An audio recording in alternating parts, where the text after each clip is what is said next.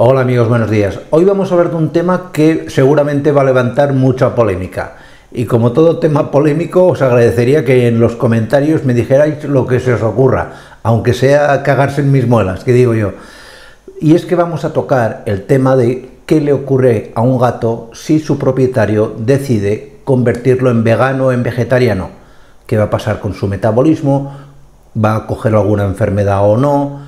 Al gato le va a gustar, no le va a gustar, etcétera, etcétera, etcétera. Hay muchas cuestiones a tocar y muy poco tiempo, de manera que no me enrollo más y aquí os lo cuento.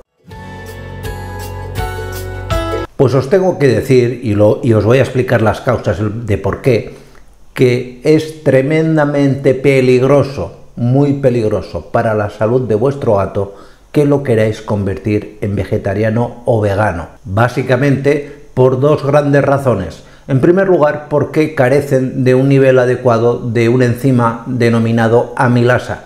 Es el enzima que transforma los almidones de los vegetales en nutrientes asimilables por el gato. Y además carecen de los genes en su genoma capaces de aprovechar adecuadamente los aminoácidos presentes en los vegetales porque alguien me dirá, pues tiene estos aminoácidos, etcétera, etcétera, me parece muy bien.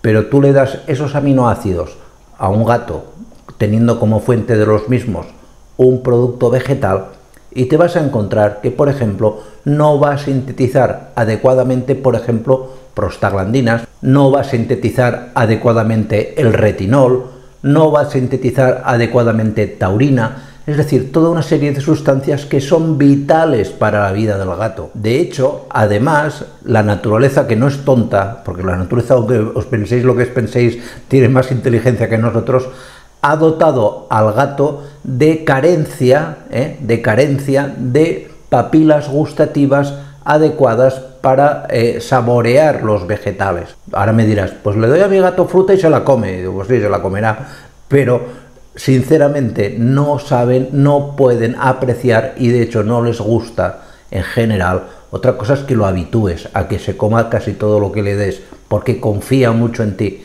Pero otra cosa muy distinta es que de modo propio, pues el gato disfrute comiendo vegetales, porque carece de estas papilas gustativas. Y ahora me diréis, oye, pues existen complementos y de hecho en el mercado hay los llamados piensos eh, para gatos veganos. Digo, sí, me parece todo eso, me parece genial. Pero os puedo decir, primero, por propia experiencia, que los complementos que garantizan que tu gato vegano va a estar suplementado adecuadamente con los mismos, en la práctica vemos en la clínica diaria que no acaban de cumplir con las expectativas. Y en segundo lugar, para que te hagas una idea, el problema de dar una alimentación, por ejemplo, de tipo vegetariano, en estos famosos piensos veganos, lo único que hace es alcalinizar la orina del gato, de manera que tarde o temprano aparecen piedras. Es algo muy característico.